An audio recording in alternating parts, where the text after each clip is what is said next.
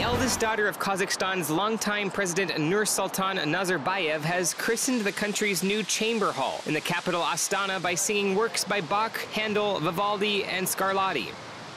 Proving that in Kazakhstan it perhaps pays to know the right people, Dariga Nazarbayeva, who is also a deputy in parliament, was rewarded with heavy applause and flowers following her performance.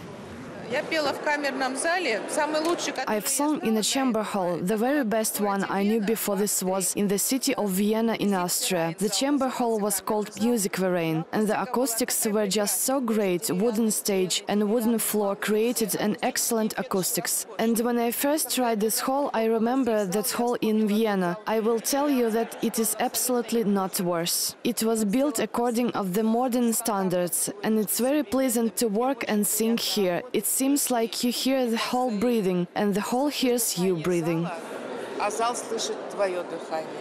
A mezzo-soprano and former head of Kazakhstan's biggest state media network, Nazarbayeva ran her own political party in the middle of the last decade.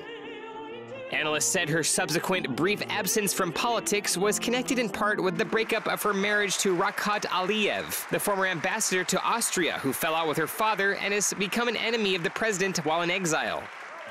President Nazarbayev has ruled the mainly Muslim country of 17 million since before independence in 1991 and tolerated little dissent or opposition.